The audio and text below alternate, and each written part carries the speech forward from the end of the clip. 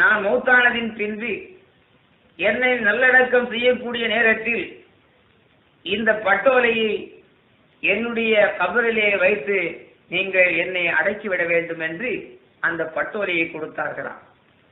அதை பார்த்த ஹசரத்து அலி அல்லாஹு தாலானு கேட்டார்கள் பாத்திமாவே இது என்ன பட்டோலை? இதில் என்ன எழுதி இருக்கிறது என்று கேட்கும் பொழுது அப்பந்தான் பாத்திமா நாயகி சொன்னார்களாம். அன்பு கணவரே நாயகரே அதாவது உங்களுக்கு திருமணத்தினுடைய நல்ல செய்தியை சொல்லப்பட்ட நேரத்தில் உங்களுடைய நிக்காகுக்காக வேண்டி ஆண்டவர் நானூறு நானூறு திருகத்தை மகராக வைத்து உங்களுக்கு ஆண்டவர் என்னை மனமுடித்து கொடுத்து அந்த நிக்காக பொருந்திக் கொள்ளக்கூடிய நேரத்தில் நான் அல்லா இடத்திலே கேட்டேன்.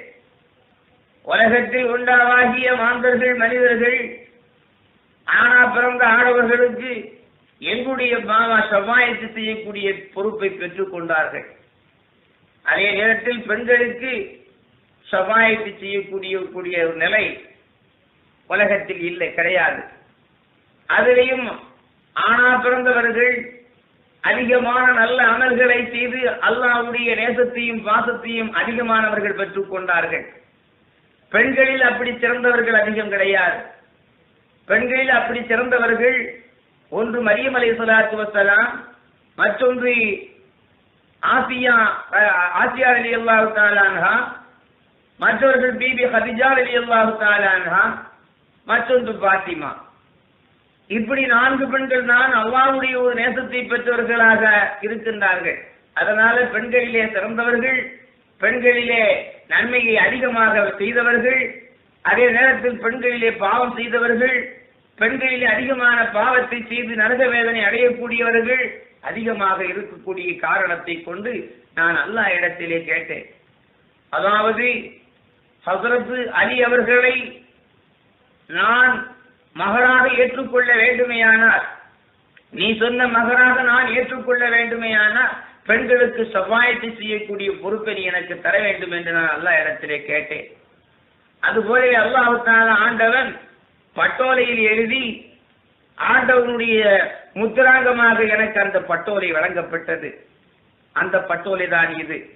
ஆகையினால் அருமை நாயகரே என்னுடைய மரண தருவாயில் என்னை அந்த அந்த கபனோடு சேர்த்து இதையும் வைத்து அடக்கம் செய்ய வேண்டும் என்று சொன்னார்களாம்.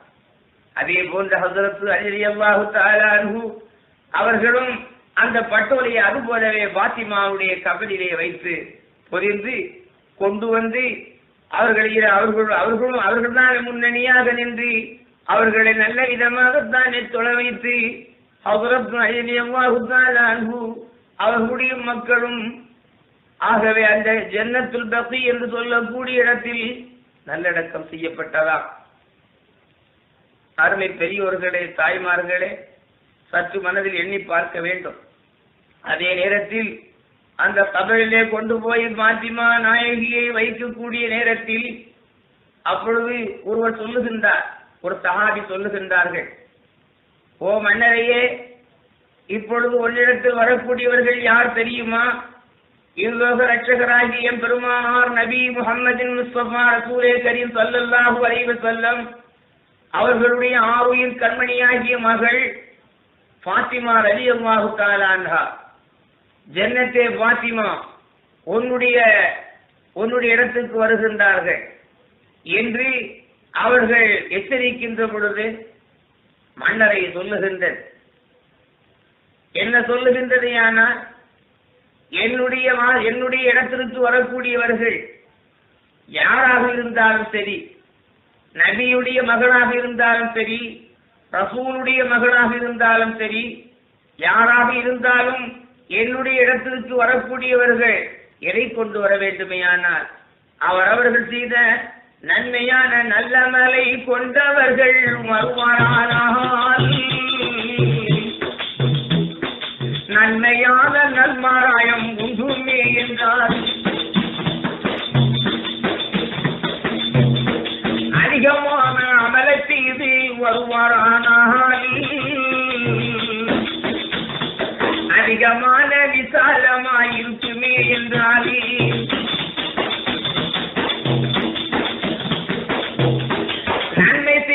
நல்லடியார் வருவாரால் நல்லதொரு வாசமனம் பெறுவார்கள்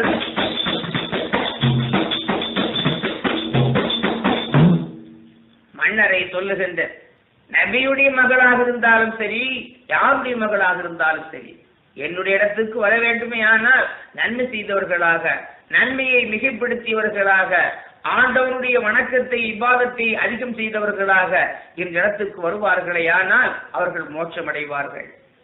நல்ல பிரயோஜனத்தை பெறுவார்கள். அதுபோன்று அந்த கபருடைய ஒரு நிலைமையை பற்றி கபர் சொல்லுகின்றது ஆகையினால் பெரியோர்களே தாய்மார்களே சற்று கவனம் செலுத்த வேண்டும். நபியுடைய மகளுக்கு இந்த சொல் என்று சொன்னார். நபியுடைய மகளுக்கு இந்த ஒரு நிலை ஏற்பட்டது என்று சொன்னார். நம்முடைய வாழ்க்கையில் எந்த நிலை ஏற்படும் என்பதை பற்றி நீங்கள் சற்று எண்ணி பார்க்க வேண்டும். ஆகவே கபருடைய ஒரு வேதனை கபருடைய அதாபு கபருடைய ஒரு கொடுமை அதனுடைய தன்மையை பற்றி நாம் சொல்லி முடிக்க வேண்டியதல்ல. அவ்வளவு பெரிய ஒரு வேதனை கபருடைய அதாபு. நன்மை செய்த நல்லடியார்களாக இருப்பார்களே ஆனால் கபர் கபர் அவர்களுக்கு சலாபத்தை கொடுக்கும். கபர் அவர்களுக்கு ராகத்தை கொடுக்கும். கபரில் உண்டான கேள்வி கணக்குகள் கேள்வி கணக்குகள் அவர்களுக்கு நன்மையான முறையில் இருக்கும். இல்லை என்று சொன்னால் வேதனைக்குரியவர்களாக வேதனையை அடையக்கூடியவர்களாக கபருடைய வேதனையிலே அகப்படக்கூடியவர்களாக இருந்து கொண்டிருக்கின்றோம்.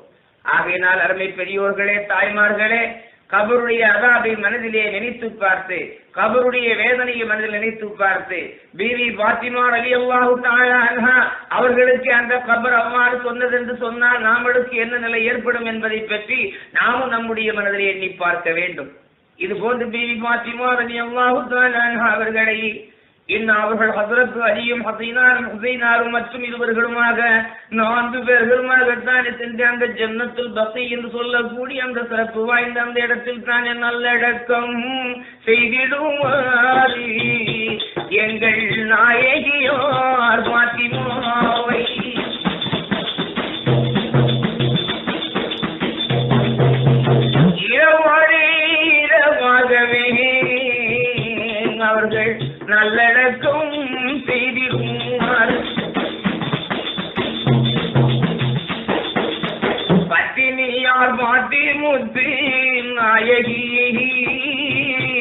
அவர்கள் பாலர்களும் சூழ்ந்திருந்து துவாவும் செய்தோர் இரவோடு இரவாக யாருக்கும் தெரியாதபடி ஜன்னத்துல் பக்தி என்று சொல்லக்கூடிய இடத்துல அவர்கள் சிறப்பான முறையிலே நல்லடக்கம் செய்தார்களாம் ஆனால் பிவி பாத்திமா நாயகி அவங்களுடைய ஒரு வாழ்க்கையில ரொம்ப வெட்கமுடையவர்களாம் ரொம்ப நாணமுடையவர்களாம் ஆகினால் அந்த நாணமும் அந்த வெட்கமும் அவங்களுடைய உள்ளத்தில் அதிகமாக இருந்ததை கொண்டு அவர்கள் தன்னுடைய திரேகத்தை மற்றவர்கள் யாரும் பார்க்க கூடாது என்ற எண்ணத்தோடு தன்னுடைய கணவருக்கு சொன்ன நசிகத் வசியத்தை. என்னை இரவு நேரத்தில் அதாவது இந்த முறையில நீங்கள் என்னை நல்லடக்கம் செய்ய வேண்டும் என்று சொன்னாங்க. அதுபோல பிவி பாத்திமா அலி அல்லாஹு தாலா அவர்களை இரவு நேரத்திலேயே நல்லடக்கம் செய்தார்களாம். ஆகவே அருமை பெரியோர்களே தாய்மார்களே பிவி பாத்திமா நாயகி அவர்களை நல்லடக்கம் செய்து முடித்து அதன் பின்பு ஹசரத் அலி அல்லாஹு தாலா அவர்களும் அவங்களுடைய அருமை கண்மணிகளாகிய மக்கள்களும் தன்னுடைய இல்லத்திற்கு வந்து அவர்களுக்காக வேண்டிய ஆதி பெரியோனிடம் துவாலிருந்தாரி அருமை பொருந்தியதோ அலிதங்களும்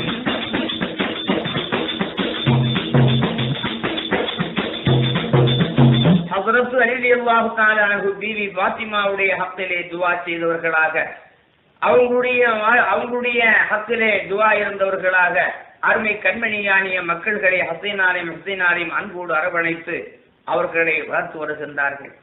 ஆகையினால் அருமை பெரியோர்களே தாய்மார்களே பாத்திமா நாயகியினுடைய வாழ்க்கையையும் அவங்களுடைய வரலாறையும் அவங்களுடைய வாழ்க்கையில் செய்து காட்டிய நடைமுறைகளையும் இன்னும் அவங்களுடைய மரண தருவாயிலே கடவுளுக்கு சொன்ன உபதேசங்களையும் இன்னும் அவங்களுடைய மரணத்துக்கு பின்னால் நடந்த சம்பவங்களையும் கேட்டுக்கொண்டிருக்கின்ற அருமை தாய்மார்களே.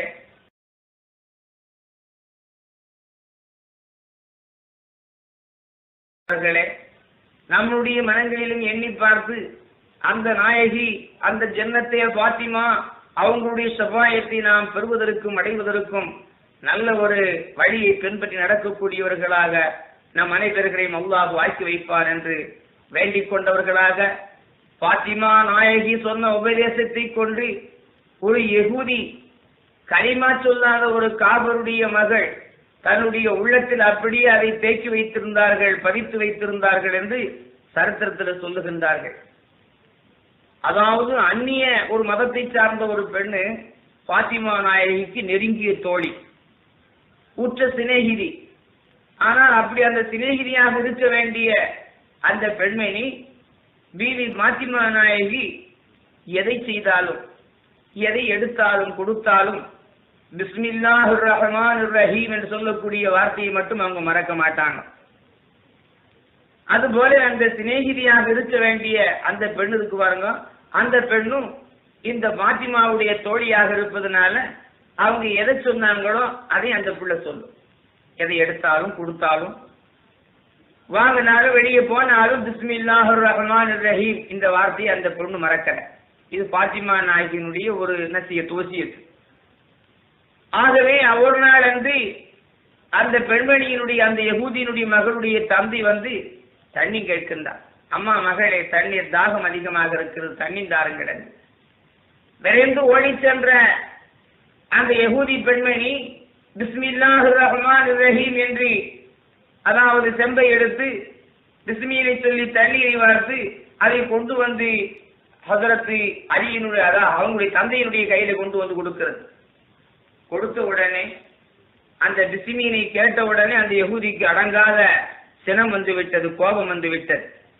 அப்படி கோபத்தை கண்ணுற்ற அந்த யகூதி சொல்லுகின்றான் மகளே இது நாலாவது வேதத்தில் உள்ள ஒரு பிசிமி. நாலாவது வேதத்தில் உள்ள ஒரு வார்த்தை. இந்த வார்த்தையை இப்பவே நீ மறந்துடணும். இனிமே இந்த வார்த்தையை சொன்ன நான் உன்னை உயிரோடு வைக்க மாட்டேன் என்று மகளை பார்த்து எச்சரித்தார். அதே நேரத்தில் அந்த பெண்மணி என்ன சொன்னாலும் அந்த வார்த்தையை மறக்கவில்லை. இதை கேட்டவுடனே அந்த யகூதிக்கு அதை விட ரொம்ப ஆத்திரம் வந்து விட்டது. ஆகையினால் தன்னுடைய பிள்ளையை அந்த பிசிமீனை மறக்கவும் செய்யாது. அதை மறந்து இருக்கவும் முடியாது. ஆகையினால் இந்த பிள்ளையை நாம் வைத்திருந்தோமே ஆனால் நம்முடைய குலத்துக்கும் நம்முடைய குடும்பத்துக்கும் பெரிய இழுக்கு.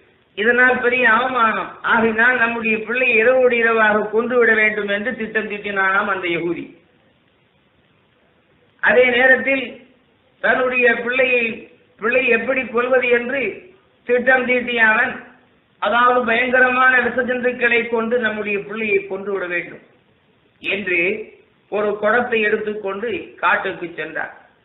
காட்டுக்கு சென்ற இடத்துல அதாவது மலைப்பகுதியில் வாழக்கூடிய அந்த பழியர்களிடத்துல போய் வேண்டுமான காசு குடத்தை கொடுத்து பயங்கரமாவுடைய விசஜந்துகள் பாம்பு தேள் நட்டுவக்காளி இது போன்ற விசஜந்துகளை பிடித்து இந்த குடத்தில் அடைத்துக் கொடு என்று கேட்டான் அதுபோலவே பணத்தை பெற்றுக்கொண்ட அந்த மலைவாழ் மக்கள் பயங்கரமான விசஜந்துகளை பிடித்து அந்த குடத்திலே அடைத்து அந்த குளத்தினுடைய வாயத்தான ஒரு துணியை போட்டு கட்டி அந்த யகுதியை கையிலே கொடுத்து விட்டார்கள். அதை விரைவாக கொண்டு வீட்டுக்கு வருகின்றார். வந்தவுடனே அந்த யகூதி தன்னுடைய மகளை அழைத்து சொல்லுகின்றான் அன்பு மகளே இதோ இந்த குடத்தில் உனக்கு வேண்டிய ஆபரணங்கள் இருக்கின்றது நகை நட்டுகள் இருக்கின்றது ஆனால் இன்று இரவு நீ நல்ல விதமாக குளித்து முழுகி ஸ்நானம் செய்து புத்தாடை அணிந்து இந்த ஆபரணங்களை எடுத்து அணிந்து அழகுபடுத்திக் கொள்வாயாக. நாளைக்கு உன்னை பெண் பார்ப்பதற்காக பெண் பார்ப்பதற்காக வேண்டி மாப்பிள்ளை வீட்டார்கள் வருகிறார்கள் என்று தன்னுடைய மகளுக்கு சொன்னார் இதை கேட்டவுடனே அந்த மகள் அந்த குடத்தை வாங்கும் போது பிஸ்மில்லாஹிர் ரஹீம் கையில் வாங்கினார்கள். அதுபோல கொண்டு சென்றார்கள். இரவு நேரத்தில் இதமாக குளித்து முழுகி புத்தாடை அணிந்து தன்னை அழகுபடுத்தி தந்தை சொன்னதை போன்று அந்த குடத்தில் இருக்கின்ற ஆபரணங்களை அணிவிக்க வேண்டும் என்று குடத்தை எடுத்து கொண்டு வந்து தன்னுடைய முன்னால வைத்து அது மேலால் கட்டிருக்கின்ற அதை அழைப்பதற்காக வேண்டி பிஸ்மில்லாஹு ரஹ்மான் ரஹீம் என்று அந்த கட்டைத்தான் அழைத்தார்கள் பிஸ்மில்லாஹு ரஹ்மான் ரஹீம் என்று அந்த குடத்தினுடைய வாயுக்குள்ளே கையை விட்டார்கள். அப்படி கையை விட்ட உடனே பயங்கரமாவுடைய பாம்புகளும் தேள்களும் நட்டுவக்காலிகளால் நிரப்பப்பெற்ற அந்த விஷ ஜந்துக்கள் எந்த முறையிலே மாறிவிட்டதையானால் பிசிமினை கொண்டு அந்த துஷ்மன்கள் எல்லாம் தூராக்கப்பட்டு விட்டது. அல்லாவுடைய இஸ்மல் ஆழத்தை கொண்டு அதில் அடங்கியிருந்த அந்த அபாயகரமான பயங்கரமாவுடைய இந்த விசுஜந்துக்கள் எல்லாம் மாறி மதிக்க முடியாத ஆபரணங்களாக மாறிவிட்டது. உடனே அந்த பெண்மணி கைவிட்டு பார்க்கும்போது தனக்கு அணிவிக்கின்ற அழகுபடுத்திய அலங்காரமாவுடைய ஆபரணங்கள் இருக்கின்ற உடனே எடுத்து அலங்கரித்துக் கொண்டதாம் அந்த பெண்மணி அப்படி தன்னை அலங்காரப்படுத்தி அழகுபடுத்தி இருக்கும் பொழுது அதாவது அந்த தகப்பனும் அந்த பெ- பெண்ணை பெற்ற தாயும் ரெண்டு பேரும் அந்நிய வீட்டில் போய் தங்கி இருக்கிறார்கள் தன்னுடைய மகள் இன்று இரவு அதாவது மூத்தாயிருக்கும் பிரசந்துக்கள் கடித்து நம்முடைய பிள்ளை மரணித்திருக்கும் அதை காலையில் எடுத்து அடக்க வேண்டும் என்று வீட்டுக்கு வர்றாங்க. வீட்டிலே வந்து கதவை தான் கட்டும் போது அம்மா மகளை என்று சத்தமிடக்கூடிய நேரத்தில் கதவு திறக்கப்படுகின்றது. தன்னுடைய கண்ணுக்கு முன்னால் மகளை பார்த்ததும் அந்த யகூதியும் எகூதியினுடைய மனைவியும் அப்படியே பிரமித்து நின்று விட்டார்கள். மகளா அல்லது வானிலோகத்து பெண்ணா பார்ப்பதற்கு நம்முடைய கண்ணே நம்மளுக்கு சந்தேகமாக இருக்கிறது என்று மகளை கூர்ந்து நோக்கி சொல்லுகின்றார். அன்பு மகளே என்னுடைய செல்வமே இத்தகைய அழகு பொருந்திய ஆபரணங்கள் எல்லாம் உனக்கு ஏது யார் கொடுத்தார்கள் எங்கே பெற்றாய் என்று கேட்கின்றார். அப்போது அந்த மகள் சொல்லுகின்ற அருமை தந்தையே நீங்கள் அல்லவா அதாவது இரவு நேரத்தில் கொண்டு வந்து தந்து நீ நல்லுடை தரித்தி நல்லுணவு உண்டு இந்த நல்ல ஆபரணத்தை எடுத்து அணிந்து கொள் மகளே என்று சொன்னீர்கள் அல்லவா? அதுபோலவே நான் இந்த நீங்கள் கொண்டு வந்து தந்த அந்த குடத்தினுள் இருந்த ஆபரணங்கள் என்று சொன்னார்களாம் இதை கேட்ட உடனே அப்படியே அவன் பிரமித்து விட்டான். உடனே ஓடி வந்து மகளுடைய கையை பிடித்து கண்ணிலே வைத்து சொல்லுகின்றான் மகளே உன்னை கொல்ல வேண்டும். உன்னுடைய உயிரை போக்க வேண்டும் என்று நானாவது வேதத்தில் உண்டான பிஸ்மில்லாஹிர் ரஹீம் என்று சொல்லக்கூடிய அந்த சொல்லை சொன்னதற்காக வேண்டி பொன்னை கொல்ல வேண்டும் என்று பயங்கரமாவுடைய சிலந்துக்களை பிடித்து அடைத்து வைத்திருக்கப்பட்ட அந்த குடத்துக்குள் எப்படி அம்மா இந்த ஆபரணம் கிடைத்தது? அப்பந்தான் அந்த பிள்ளை சொல்லுகின்ற அருமை பிதாவை தந்தையை பார்த்தீர்களா?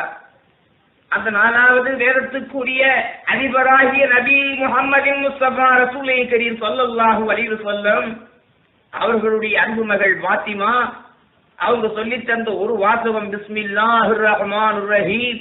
அந்த ஒரு வார்த்தைக்கு எவ்வளவு பெரிய மகத்துவம் இருக்கிறது எவ்வளவு பெரிய சக்தி இருக்கிறது என்பதை பற்றி நீ எண்ணி பார்க்க வேண்டும் என்று தன்னுடைய தந்தைக்கு அறிவுரை கூறியதாம் அந்த மகள். அதை கேட்ட உடனே தந்தை பிரமித்தார் வியந்தார். உண்மையிலேயே இந்த உலகத்தில் சிறந்த ஒரு வேதம் சிறந்த ஒரு மார்க்கம் இறைவனால் அங்கீகரிக்கப்பட்ட மார்க்கம் உண்மையான மார்க்கம். அருமநாயக ரசூலே கரீம் சல்லல்லாஹு அலைஹி வஸல்லம் அவர்கள் கொண்டு வந்த சத்திய சன்மார்க்கம் என்று அந்த எகுதியும் எகுதியினுடைய மனைவியும் மக்களுமாக வந்து லா இலாஹ இல்லல்லாஹ் முஹம்மது ரசூலுல்லாஹ் என்று கரிமாவை சொல்லி ஈமான் கொண்டு சுவாத்தி ஏற்றுக்கொண்டார்கள். அருமை பெரியோர்களே தாய்மார்களே எண்ணி பார்க்க வேண்டும்.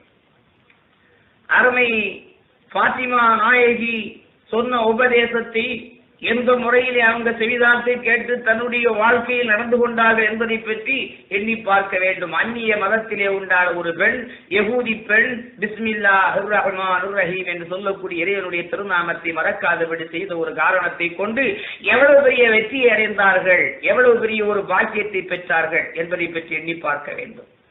நாமல் பாரம்பரியமாக இஸ்லாத்தினை உடையவர்களாக நாம் வாழ்ந்து கொண்டிருக்கின்றோமே நம்முடைய வாழ்க்கையில் அந்த பிஸ்மில்லாஹிர் ரஹீம் என்று சொல்லக்கூடிய அந்த இறைவனுடைய திருநாமத்தை நாம் எந்த முறையிலே உச்சரிக்கின்றோம் சொல்லுகின்றோம் செய்கின்றோம் என்பதை பற்றி எண்ணி பார்க்க வேண்டும். ரொம்ப மறந்து போச்சு பிஸ்மில்லா. ஆகையினால நாம் எந்த ஒரு காரியத்தை செய்தாலும் எந்த ஒரு காரியத்தை செய்வதற்கு ஆரம்பமானாலும் நாம் முதலாவது சொல்ல வேண்டியது அல்லாவுடைய இஸ்முல்லா பிஸ்மில்லாஹுர் ரஹ்மான் ரஹீம். மறந்து விட்டோம் ஆகையினால் அருமை பெரியோர்களே தாய்மார்களே பிஸ்மினை மறந்து விடக்கூடாது. ஆகையினால இப்ப சாப்பிடும்போது கூட அந்த பிஸ்மில்லாவை ரொம்ப ரொம்ப ரொம்ப விட்டுட்டோம். சில சில இடங்கள்ல சாப்பிடக்கூடிய நேரத்துல அவசரமா சோத்தை அள்ளி வாயில வைக்கும்போது பிஸ்ன்னு சொல்லுவாங்க பிஸ்மில்லா வராது. அதுக்குள்ள சோறு உள்ள போயிடும் ஆகையினால் அந்த அளவுக்கு நாம் அதை மதித்து வைத்திருக்கின்றோம். உண்மையிலேயே பிஸ்மில்லா ரஹ்மான் ரஹீம்.